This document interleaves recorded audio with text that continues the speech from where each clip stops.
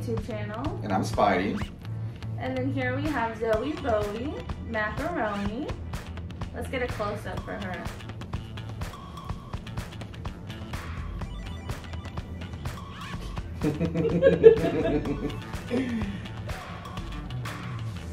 she left the camera. She's full of laughs and makes everybody laugh constantly, especially our children. Yeah, she really, really does. She'll have them in tears crying because they're laughing so hard. It's just, she's a hilarious, sweet dog.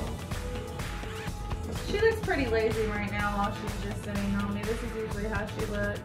But in her defense, she has been eating a lot and doing a lot of videos a day and went on a road trip to PetSmart to get a bandana and a new outfit. So uh, she kind of tuckered out. Yeah, so most of the videos that you see me post are centered around Zoey.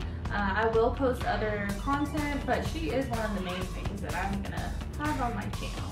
But why not? Look at that face. Mm.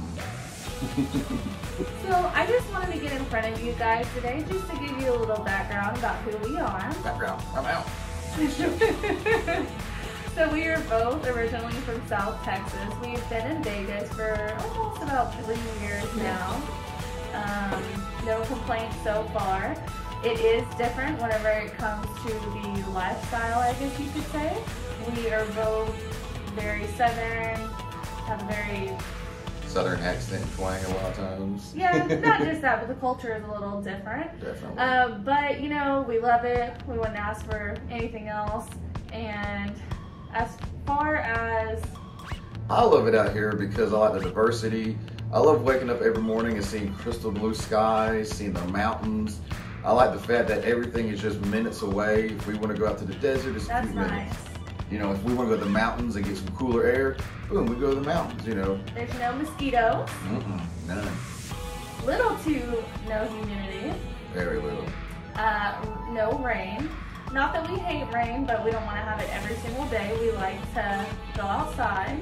Um, he's more of an extrovert than I am. However, the older I get, I love being outside as well.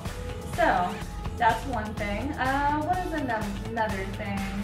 Uh, what I really like is that, you know, you actually have the summer and you can do so much in the summertime, but then once you're tired of the heat, uh, here comes the wintertime. And it doesn't get so cold that you can't do anything, but, you know, at least in the summertime, there's a constant breeze. That's true. Yeah. It does get very, very windy out here. Very it's windy. it's uh what do you call it? Like a fishbowl. Yeah, we're you literally live in a fishbowl because we're surrounded by mountains on all sides. So I mean, the wind just funnels right through, which is good when it's hot. But when you have the fires in California and stuff like that, that's the only downer because the smoke comes through here. But luckily, that doesn't hardly happen very often. Yeah, and there's also a lot of pollen in the air, so sometimes allergies can get a little hectic, crazy. But I mean, I can't complain too much. Like I said earlier, no mosquitoes, less humidity. Um, everything is very close to us. It's very, you know. Very convenient. Yeah, it's very, very convenient. We live next to Sunset Park, which is an amazing park. If you just want to go feed the ducks, walk around the little pond, you know, if the kids want to play, there's lots of playgrounds. Splash pads, you know, and there's a dog park, a huge dog park right next to it that we get to take our Zoey Belly Macaroni to a lot. So Yeah. you'll, you'll probably see videos of her at the dog park playing and chasing dogs and acting the fool. It's definitely a very relaxing place if you want to get some exercise in, if you just want to go read, um, if you've been through a lot of stress lately and you just want to relax there, you can go and get you a little blanket, lay it down on the grass, lay in front of the ducks. One misconception that people think is if you live in Vegas, oh, it's all gambling. Oh, it's all, you know, Oh party time. The real honest truth is we hardly go to the strip. The, the only time we go to the strip is if there's an event that we want to go to, which unfortunately through COVID there hasn't been very many events. Or if we just want to get out and get out with the lights and the glimmer and all that, you can do that because it's just literally minutes away. Same with Fremont, but it's a regular town. We go to Walmart. You know, when kids have school, you know, why- we have jobs, you know.